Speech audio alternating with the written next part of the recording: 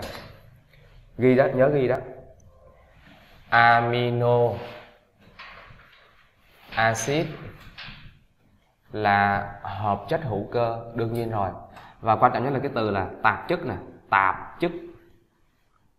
Đó, tại vì sao? Tại vì trong phân tử của nó, trong phân tử chứa đồng thời chứa đồng thời cái gì? Chứa đồng thời nhóm nhóm nhóm amino nhóm amino là cái nhóm này nè. NH2 và carboxin carboxin là cái nhóm COOH nói nó có đầu có đuôi nó mới được nghe, nó mới hiểu được nha. Được chưa? Rồi đó là cái khái niệm vậy đó khái niệm.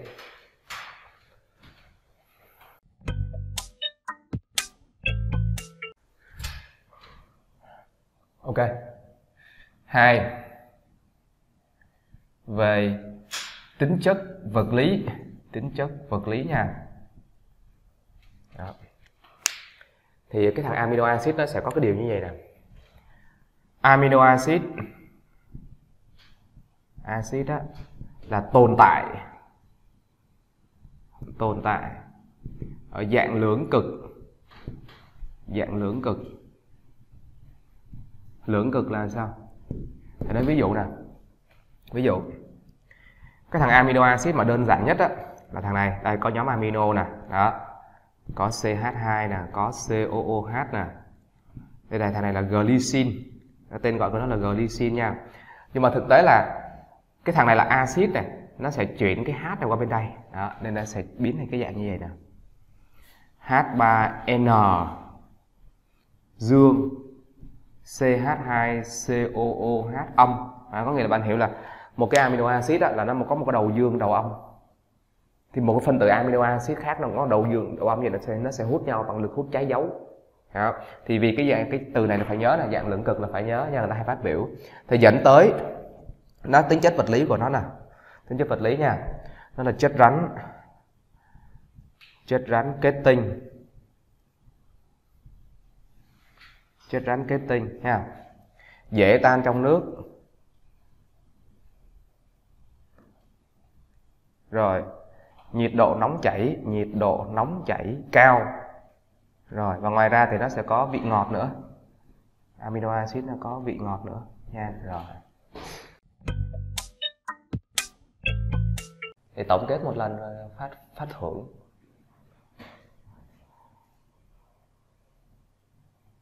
Đồng phân và danh pháp.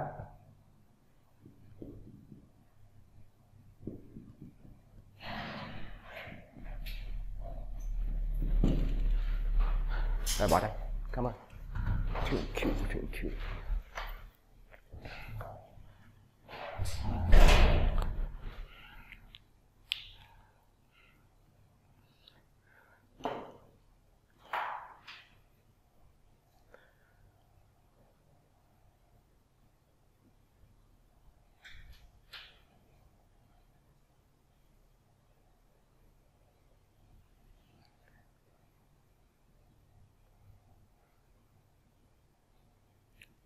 được chưa? Rồi. Bây, bây giờ đồng phân và danh pháp á, thì cái đầu tiên chúng ta sẽ xét nè đó là các amino acid. Có đặc điểm nào? Là no hở no hở nha. Trong phân tử có một nhóm NH2 một nhóm COOH thì cái công thức tổng quát của cái thằng này á nó sẽ là CnH2n cộng 1O2n và chỉ số n của mình á, là ít nhất là 2 lớn hơn là bằng 2 nha rồi. Bạn n bằng 2 nè. Thì thay vô đây nha.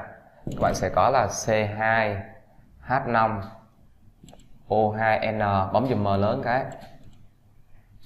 Rồi tôi bấm luôn cho. 75 rồi.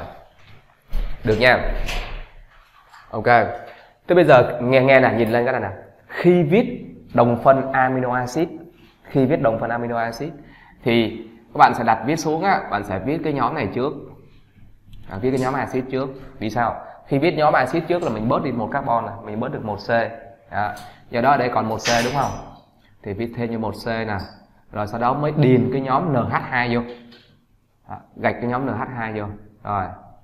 Cuối cùng thì ta chỉ cần thêm một là xong. Được chưa? Thì cái này á, nó sẽ có hai cái tên thông thường sẽ phải nhớ. Nha, tên thông thường phải nhớ. Tên thứ nhất á, là đây, thầy sẽ, thầy ưu tiên nhé thầy ưu tiên nha. Là nếu tên gọi này nè, gọi là tên thường, được gọi là glycine. Tên thứ hai á, mình sẽ gọi là axit amino acetic. Nha. Còn thêm tên theo ờ, n bằng 2 ơi quên, n bằng 3 thì thay vô nè. Sẽ có C3 H7 O2 1N rồi bấm M lớn. Nhiều. 89 89 rồi. Đồng phân thứ nhất. Đây, một cái nè. 1C 2C hiểu ý không? Viết nhóm axit trước nè. Còn hai carbon là 1C 2C thế bây giờ điền nhóm NH2 thì chúng ta có thể điền nhóm NH2 ở đây. Hiểu không? Rồi, ví dụ bây giờ cũng là y chang như vậy, nhưng mà cái nhóm NH2 á, mình có thể chuyển qua vị trí thứ hai. Hiểu chưa? Như vậy là sẽ có hai công thức. Rồi. Về tên gọi, thì cái ông này nè, các bạn chỉ nhớ cho thầy một cái tên thôi là được rồi đó là alanin. Alanin nha. Rồi. Hạn chế tối thiểu cho các bạn. Alanin. Rồi. Còn cái công thức thứ hai này thì khỏi khỏi khỏi gọi cũng được. Và nhớ nè, nghe nghe kỹ nè. Cái carbon mà gần nhóm axit nhất, cái carbon mà gần cái nhóm axit thì carbon này gọi là carbon alpha. Carbon là carbon alpha. Và khi nhóm NH2 mà gắn trên vị trí carbon alpha này á, người ta gọi là alpha amino acid rồi như vậy là cái này sẽ có hai công thức cấu tạo.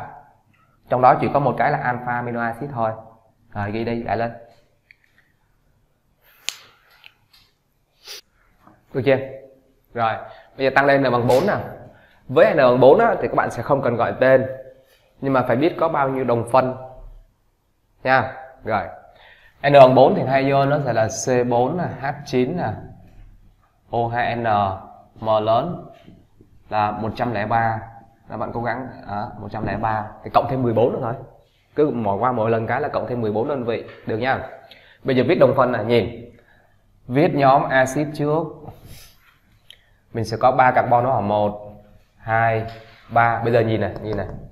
Nhóm NH2 gắn ở đây. Được hiểu ý không? Mình có thể chuyển nhóm NH2 qua bên đây mình gắn. Có thể chuyển nhóm NH2 qua đây mình gắn hiểu ý không? Còn việc thêm hero cho là biết thêm chưa? Biết. Như vậy riêng cái này sẽ có bao nhiêu công thức cấu tạo? Ba. Nhưng mà chỉ có bao nhiêu cái là alpha thôi. Một, đúng rồi, tại vì đây là vị trí alpha này. Nhóm NH2 gắn vào vị trí này mới gọi là alpha amino acid. Như vậy chỉ có một alpha amino acid thôi. Ghi ngắn gọn, giờ hiểu không? Rồi, tiếp theo. Cũng là cái mạch như vậy, nhưng mà ba carbon này chúng ta có thể phân nhánh nó. Đây, ba carbon này phân nhánh này bây giờ mình gắn nhóm NH2 ở đây. Mình chuyển nhóm NH2 qua đây mình gắn, được không? Và tất nhiên là hai vị trí này nó giống nhau. Nên là nên là cái này á, nó sẽ có hai công thức. Và tất nhiên là trong đó chỉ có một cái là alpha thôi. Đúng không? Chỉ có một cái là alpha thôi. Như vậy kết luận là cái này sẽ có năm công thức cấu tạo. Và nếu đề bài hỏi là alpha thì chỉ có hai thôi. Hiểu ý? Rồi, ok.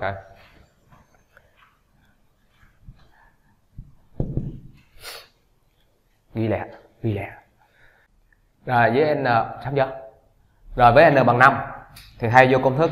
Ta sẽ có c5 h11 o2n tất nhiên là ta sẽ viết các đồng phân. Và trong các đồng phân này, chúng ta chỉ gọi tên đúng một cái đồng phân thôi.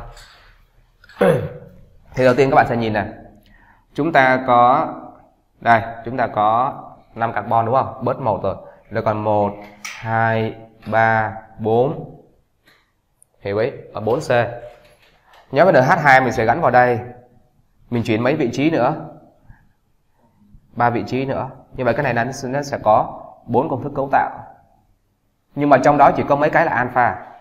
À, đúng rồi chỉ có một cái là alpha thôi. Tại vì NH2 gắn vào đây mới gọi là alpha. Hiểu ý. Tiếp tục. Cũng là 4C nhưng bây giờ cắt bớt là 1 2 3 giờ còn 1C đúng không? 1C thì tôi sẽ gắn ở đây. Ví dụ tôi gắn cái một carbon nó ở chỗ này nè. Được. Vậy bây giờ gắn nhóm NH2 tôi gắn nhóm NH2 vào đây, một vị trí. Gắn vào đây được hai nè, gắn vào đây được 3 và gắn xuống đây là được 4 cũng có bốn công thức cấu tạo khác nhau, cũng có bốn công thức và trong đó chỉ có một cái là alpha, đương nhiên. Nhóm NH2 phải gắn vào vị trí này mới gọi là alpha. Được ý. Rồi, tiếp tục. COOH viết đâu ta? Đây. COOH nè à. một hai ba. À, bây giờ tôi gắn C ở chỗ này. Đó nó sẽ khác cái kia nha. Nói chung là ghi một lần thôi thôi tôi ghi nhớ. Bây giờ nhớ là H2 gắn ở đây. Được một gắn ở đây được hai gắn ở đây được ba. Cái vị trí này và vị trí này nó giống nhau nè. Nên là mình sẽ không gắn nữa. Như vậy cái này nó sẽ có ba công thức cấu tạo và tất nhiên cũng chỉ có một cái là alpha. Được không? Được không? Được không? Rồi ok. Thì trong trong cái công thức này như vậy là có ba nhá. Và trong cái công thức này nè của cái này nè thì ta sẽ gọi tên một cái. Trong những cái này gọi tên một cái trong này. À, sẽ gọi tên cái này nè. CH3 CH CH3 CHNH2 Đây, gọi tên cái này nha cái này. Là của cái này nè thì gọi tên cái này, valin. Đọc là valin nhá phải thuộc nhá, valin. Rồi, cuối cùng. COOH cắt bớt được còn 2C 2C vị trí này gắn đây cái đây cái. Và tất nhiên là nhóm NH2 sẽ không gắn vào đây nữa, thì carbon là đủ hóa trị 4 rồi. Và ta chỉ gắn một cái thôi. Và ba vị trí này như nhau nên gắn một chỗ thôi. Như vậy cái này chỉ có một công thức cấu tạo và nó cũng không có alpha. Nhé, ok. Rồi, ghi vậy là uh, chúng ta đã viết hết các đồng phân từ n2 đến n bằng 5 đếm được đồng phân và gọi tên thì gọi tên là glycine alanine valin. Vậy thôi. À, cái rồi Rồi ờ, nhìn nào. Cái đầu tiên sẽ là H2N này. CH2 4 lần. 4 lần liên tiếp nhau. Sau đó là CH NH2 COOH đó. Hay sẽ ghi gọn lại một chút. Khi chúng ta làm bài tập ta ghi là H2N C5H9 COOH này. Thì cái M lớn này á, là 146 và chúng ta nhớ cái tên của nó là lysine lysine rồi. Rồi cái cuối cùng là HOOC CH2 hai lần. CHNH2 COOH này. Hay chúng ta sẽ ghi gọn một chút là H2N C3H5 COOH hai lần. M lớn là 147 đó và đọc tên là axit glutamic. Rồi, rồi chúng ta hết phần đồng phân và danh pháp. Nhớ là phải thuộc nha.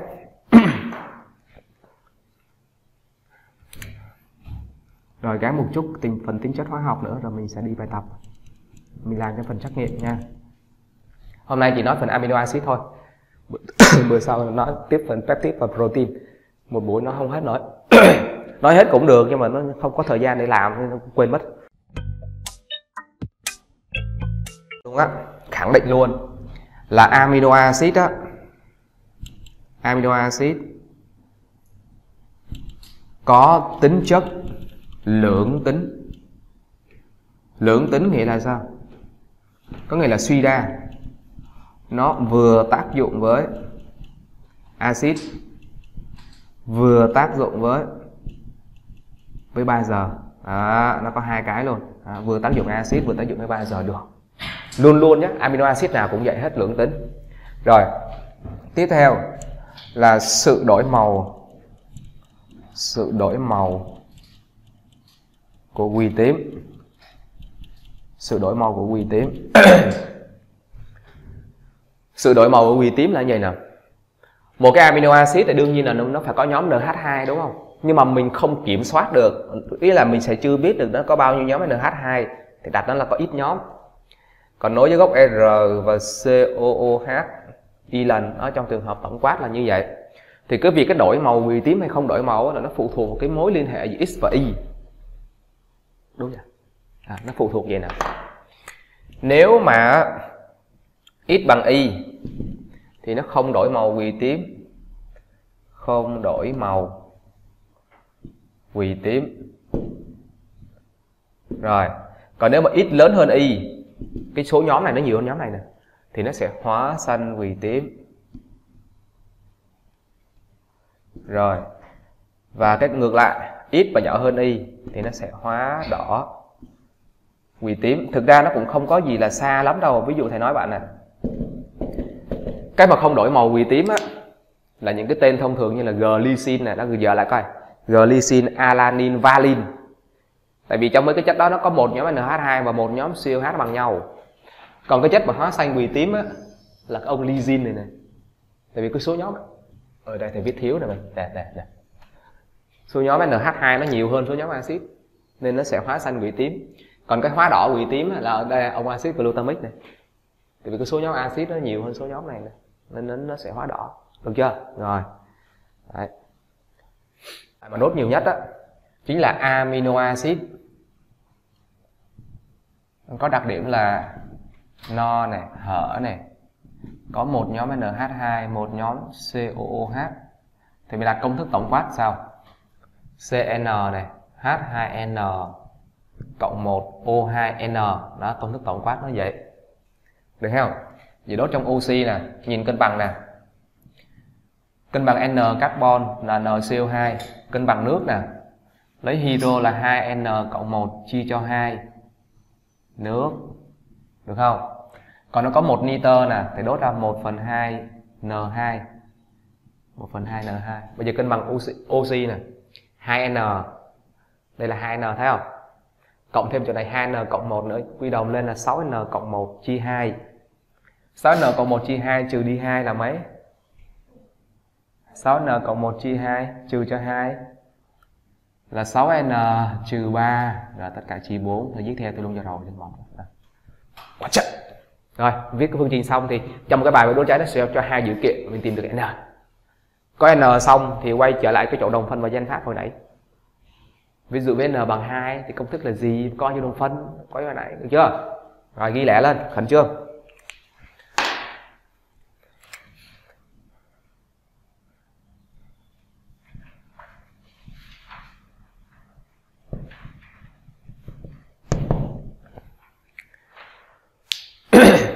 Rồi nhìn lên cái chỗ tác dụng axit. Thôi ghi, ghi chưa? Ghi, ghi cái dòng này chưa? Ghi chưa? Ghi rồi ta ghi rồi cũng được cậy rồi. Bây giờ ví dụ nè ví dụ ví dụ ví dụ nha. Glycine lấy công thức đơn giản nhất là glycine đi. Đây đây là glycine nè m lớn nhiêu 75 46 gì? Cái chất nhỏ nhất là phải nhớ dùm tôi một cái.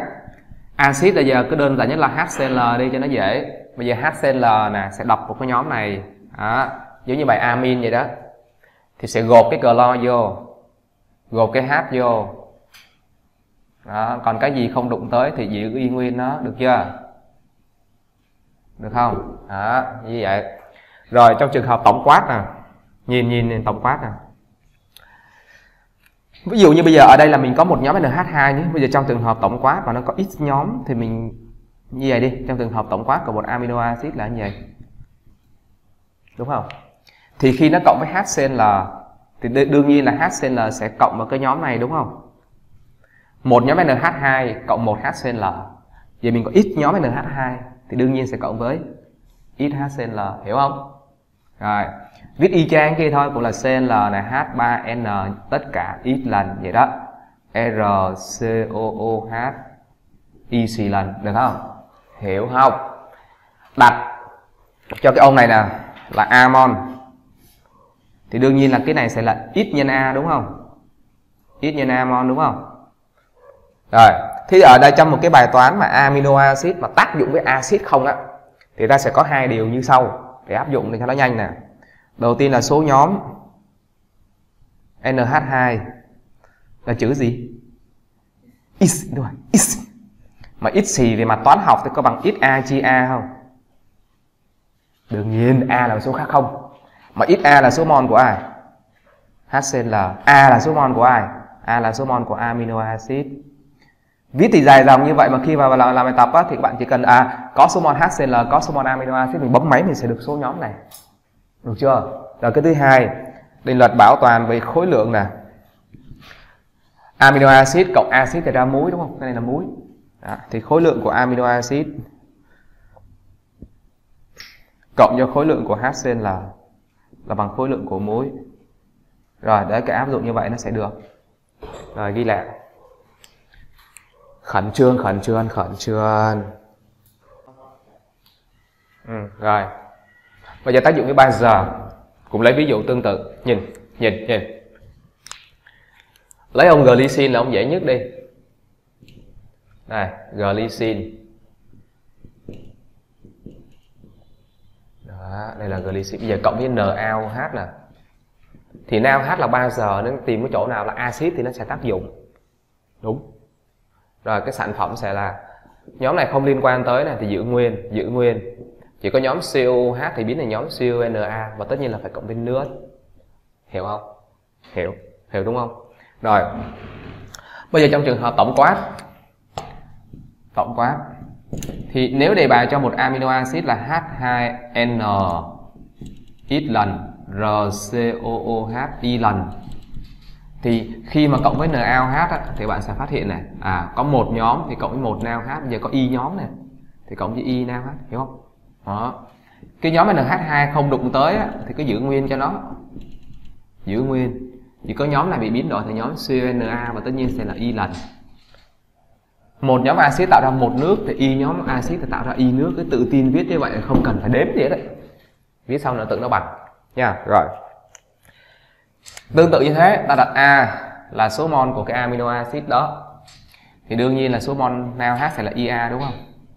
Số mol nước cũng là ia luôn. Và nhận xét đương nhiên là số mol NaOH với nước luôn luôn sao? À, bằng nhau. Bằng nhau rồi, ở đây sẽ có hai điều. Thứ nhất là chúng ta sẽ có số nhóm COOH số số nhóm sẽ là chữ gì? Là chữ y đúng không? Chữ y. Chữ y thì có bằng ia GA không? Đúng. Mà ia là số mol của ai? Ia là số mol của NaOH còn a là số mol của amino acid. Hiểu chứ? Đó. Rồi, sẽ tìm được số nhóm axit. rồi tương tự thế, cũng áp dụng định luật bảo toàn về khối lượng, nhưng tuy nhiên là có nước nha, có nước phía sau. Khối lượng của amino acid cộng khối lượng của NaOH bằng khối lượng của muối và cộng khối lượng của nước. Và yên tâm rằng số mol nước và NaOH sao rồi? Bằng nhau, nên có thể áp dụng được. Rồi, ghi đi. Ghi lẻ nó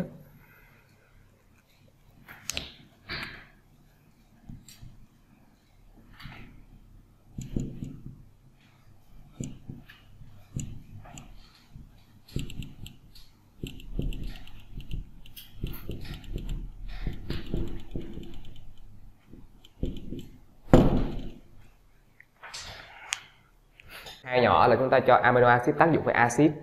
Rồi, một phát là xong. Còn phần 3 là mình cho amino acid tác dụng với 3 giờ là xong. Nhưng ở đây cái thể loại tiếp theo là nó khác chút. Đây, ta có một cái amino acid tổng quát nè. H2N ít lần. R COOH y lần. Trong trường hợp tổng quát thì vậy thôi. Giống như nếu mình đề bài mà cho một cụ thể như glycine thì mình viết công thức glycine thôi, cho nó dễ. Rồi, lần thứ nhất thì bỏ nao hát vô rồi, thu được cái dung dịch gì đó, không cần biết. Rồi tiếp theo, lại bỏ tiếp HCl vô. Đó, bạn hiểu ý không? Cho một amino acid, cho tác dụng nào H, thu được dung dịch. Lại tiếp tục cộng cái HCl tiếp một lần nữa, bỏ liên tiếp vô á. Hiểu hiểu ý không? Thì hãy nhìn á, cái chất bỏ sau cùng. Hãy để ý đến cái chất bỏ sau cùng, khoanh tròn cái chất bỏ sau cùng. Thì nó là axit đúng không? Nó là axit thì đi tìm chỗ nào là 3 giờ nó tác dụng nó tác dụng với thằng này là một này. Nó tác dụng với à, ông này nè là hai nè. Tác dụng hai chỗ nha. Thì sản phẩm này luôn cố định như sau. Đây. HCl cộng NaOH thì phải ra nước đúng không? Đúng có nước nè. Và tất nhiên là có muối là NaCl rồi. HCl chỉ cộng vào nhóm này thôi không có liên quan đến nhóm này gì hết. Như vậy chỉ viết thay đổi nhóm NH2 thôi viết thành ClH3n ít lần. Còn cái phần nào không tác dụng đó, thì cho nó giữ nguyên. Được không? Rồi viết đi viết đi thầy thầy viết cho em ba định luật. Viết ba công thức để áp dụng bấm máy. Nhanh. Như sau nè. Đây nhìn. Nếu ta đặt A là số mol của amino acid đó. Amon nha là số mol của amino acid đó nè. Thì cái điều sẽ không thay đổi như sau. Công thức số 1 số mol của HCl HCl là thằng bỏ sau cùng đó thì nó sẽ bằng số mol của NaOH đó. Cộng với A nhân cho X. A là số mol của amino acid đó. Rồi bạn nhân X là cái số nhóm amino của cái của cái, cái amino A đó nha. Thì trong trường hợp cụ thể X nó sẽ là một hoặc hai thôi à mình tổng quát mình viết vậy thôi. Điều thứ hai là số mol nước cái nước tạo thành cái cuối cuối cùng cái nước, nó luôn bằng số mol của NaOH. Phản ứng. Rồi, điều thứ ba là áp dụng định luật bảo toàn khối lượng, thì khối lượng là gì? Bây giờ có, bỏ cái gì vào thì cộng hết. Bây giờ mình có khối lượng của amino acid nè. Ta bỏ cái gì vô? Bỏ NaOH vô thì cộng NaOH vô.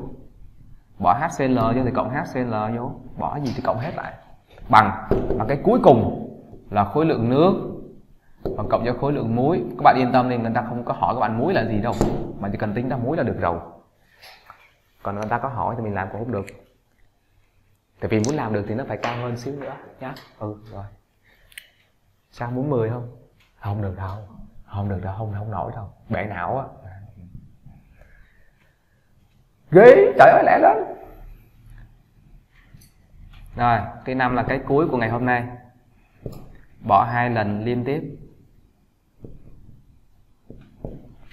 Liên tiếp. Mà là dạng 2 nha. Dạng 2 là như vậy nè, là như vậy nè. Nó nó cũng y chang cái sơ đồ như vậy thôi, chứ không có gì khác, nhưng mà chỉ có điều á, là thay đổi thứ tự bỏ nha thay đổi thứ tự bỏ. Lúc này à, chúng ta sẽ bỏ HCl trước.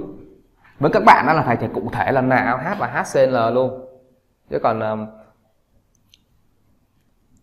nói H cộng các bạn không hiểu đâu nên là vậy nên nha. Rồi bỏ axit vô. Rồi cái cái cái đợt sau á người ta mới bỏ cái 3 giờ vô. Đổi đổi thứ tự bỏ hay không? Rồi nhìn chất bỏ sau cùng. Nó là 3 giờ đúng không? Bao giờ thì đi tìm chỗ nào axit nó lụm thôi. Đấy axit nè, thì lụm, đấy. Thì sản phẩm cố định sẽ có, vẫn là nước. Muối muối thì bạn muốn cụ thể muối thì ok, muối muối NaCl nè có ra NaCl còn cái này đọc vô đây, thì để biết thì nhóm CuNa như cái phần ba nhỏ kìa thì không? Gạch như thật. Được đúng không? Ừ. ít lần r nè c o o n a nè y lần. Đó, y vậy đó nhưng mà thực sự là không có để ý muối đâu. Bạn đặt A là số mol của amino acid đó. A là số mol của amino acid đó và công thức cũng tương tự. Nhưng bây giờ NaOH là chất bỏ sau nên là số mol NaOH sẽ bằng cộng với HCl thì bằng số mol của HCl cộng với số mol của cái này nè là A nhân cho Y. A là mol nhân cho Y nhóm. Được không?